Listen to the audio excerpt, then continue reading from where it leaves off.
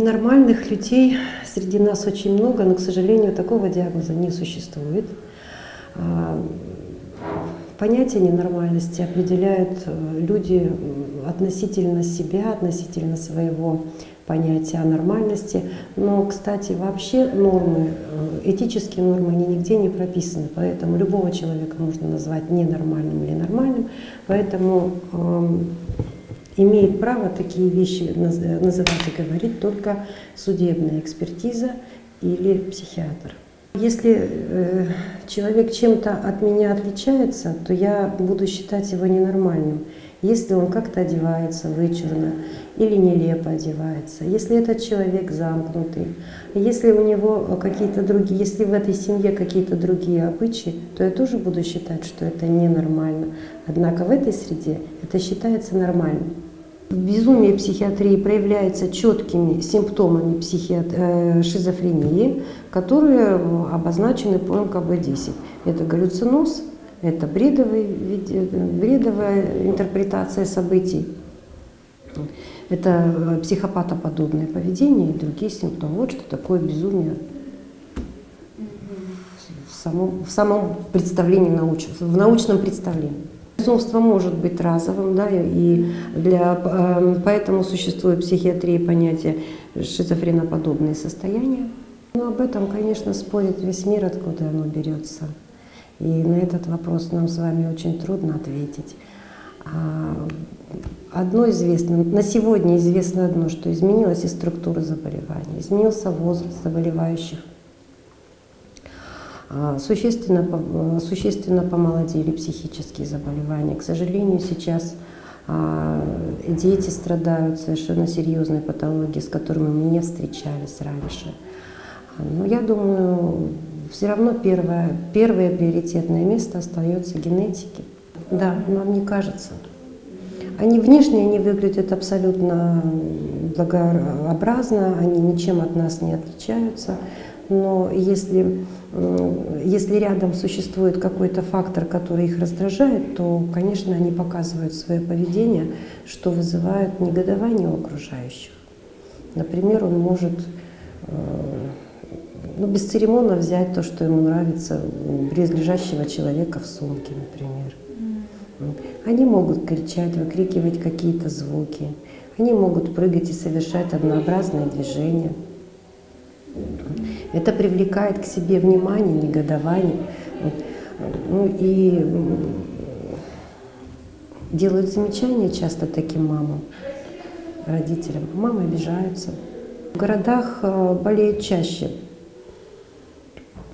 Но тоже это зависит от структуры заболеваемости, потому что, допустим, для населения, а, для сельского населения характерна больше умственная отсталость, э, задержка психического развития. Э, характерны неврозы, характерно психопатоподобное поведение. А для города немножко другая схема, поскольку мы больше урбанизированы, поскольку у нас совсем другой образ жизни.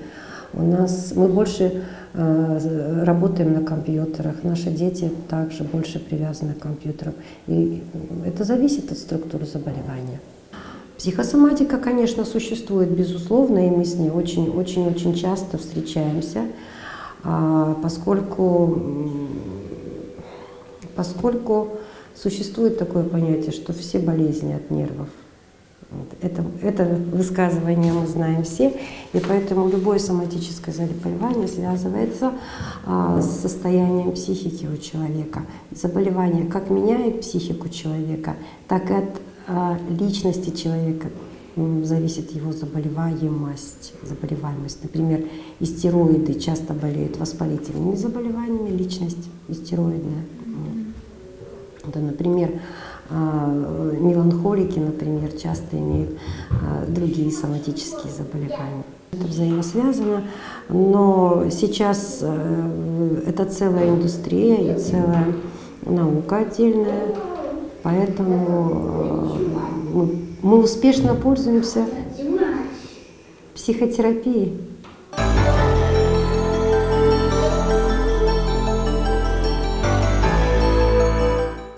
Все это зависит от структуры заболевания. Во-вторых, во-вторых, конечно, а, к сожалению, население у нас так устроено, что а, сначала мы э, пробуем какие-то другие методы, и психиатры а, на этой лестнице оказываются последними. И наши э, препараты в том числе тоже. Поэтому все-таки существует э, международная классификация болезней. Все, что стоит под буквой F, лечит психиатр. Сюда относится НУРС, например, в том числе. Поэтому если у вашего ребенка НУРС, то нужен, должен это лечить психиатр. Не невропатолог, не уролог, а только психиатр. Вот таким образом. К сожалению, конечно, если а, такое заболевание встречается, то родители в последнюю очередь идут к психиатру. К сожалению, чаще всего психическими заболеваниями страдают мальчики. Вот в, этом, да, в этой структуре мальчиков гораздо больше. А, среди аутистов детей а, девочки крайне редко болеют, но болеют. В основном мальчики страдают. А среди, опять же, поведенческих расстройств это тоже мальчики.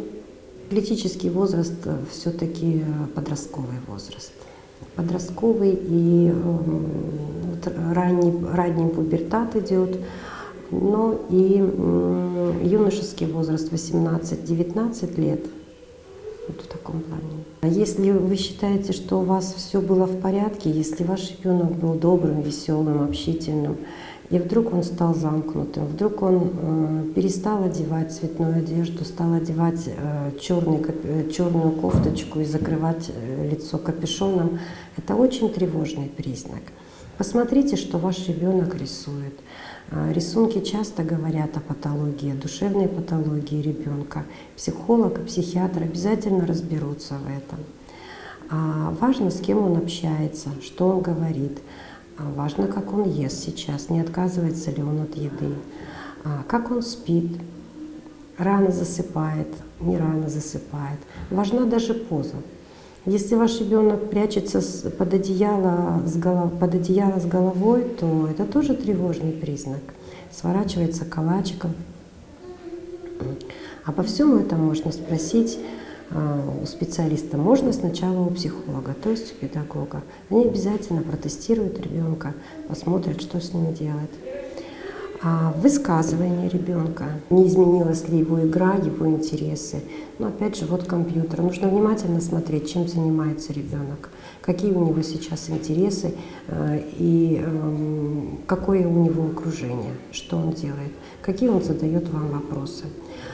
Если э, вашему ребенку 5 лет, то он должен играть в игры, соответствующие ребенку 5 лет. Если вашему ребенку 5 лет, и он э, интересуется взрослыми играми, и он достиг уже тех знаний, которые имеет ребенок 14 лет, не стоит радоваться. Это так же плохо, как, это, так, как и то, что э, ребенок отстает в развитии. Преждевременное развитие тоже ведет к болезненным состояниям, психическим заболеваниям у ребенка. Поэтому нужно контролировать развитие ребенка, нужно контролировать нормальное развитие ребенка. Значит, как задержка развития ребенка, так и его а, опережение – это патология. Бытует мнение, что наши препараты да, превращают личность в растение – к сожалению, это не так. В растение превращает сам процесс психиатрический, психопатологический процесс. То есть если вы больному не будете давать эти препараты, то вот эта деградация личности, она наступит гораздо раньше. Вовремя начать лечение – это тоже очень-очень правильно. Поэтому к нам чаще всего приходят уже запущенные случаи. Если говорить в случае об аутизме, например, то а, обращаются родители а, с жалобами, что их ребенок не разговаривает. То есть это, это первая жалоба в возрасте уже 4, 5, иногда 7 лет. А симптомы-то ведь существовали гораздо раньше, но как и везде, как и всегда, уговаривали родители, близкие, что это не так страшно, Ничего плохого в этом нет. Заговорить, подождите, походите в садик, подумайте. То есть к нам попадают уже на той стадии, когда нужно решать какие-то учебные процессы, либо либо попасть в центр для того, чтобы э, поправить речевое развитие ребенка. Но причина совсем в другом. Нужно приходить вовремя.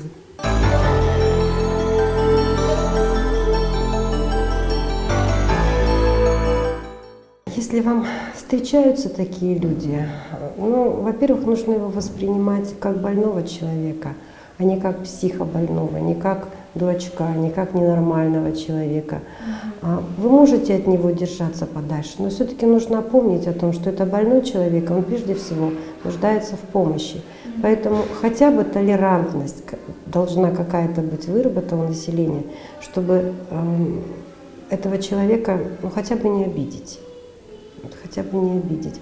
Вообще-то, если вы видите, что это пожилой человек, и он как-то выглядит нелепо. Если он зимой идет раздетый, то постарайтесь помочь ему вернуться в семью прежде всего. Ведь мы же помогаем людям, которым сердечный приступ. Мы вызываем скорую, так и здесь. Вот. Просто нужна медицинская помощь или уже тогда а, помощь внутренней э, УВД, помощь полиции, да, для того, чтобы вернуть этих людей в семью, вот и все. Чаще всего они попадают на улицу а, в состоянии психоза, состоянии психоза. Явно нужна помощь. Это общепринятые понятия, да, весной, осенью, да, их больше, да, на, да, наплыв какой-то идет. Я думаю, летом они каким-то образом себя все-таки занимают, это, это дача, это... А вот это вот самый сложный период межсезонья, когда уже и не лето, и не зима, еще и не зима. Зимой тоже каким-то образом они определяются. Холод заставляет их держаться как-то вот э, поближе к теплу, как-то дома. А вот только, только весна, только тепло, и они, они выходят на улицу. Структура заболевания и уровень заболеваемости в первую очередь зависит от личности, как, а, насколько личность стойко переносит трудности, насколько она адаптивна а, в трудностях, потому как мы постоянно находимся в состоянии стресса. И как мы умеем выходить из любой ситуации, и как мы умеем, умеем, моделировать свое поведение а, в любой ситуации, приводит нас к заболеванию или психическому здоровью. Таким образом. Поэтому, конечно, спорт, конечно, творчество, конечно, диета, конечно, конечно отношения. Ну, я могу дать такой совет, что каждый себе обязательно должен ежедневно сделать три подарка. Обязательно. Вот, в психиатрии любые подарки, любые. Просто когда ложишься спать, обязательно подумай, я сделал, я успел себе сделать сегодня три подарка или нет. Я, я похвалил себя, Поэтому обязательно любить себя.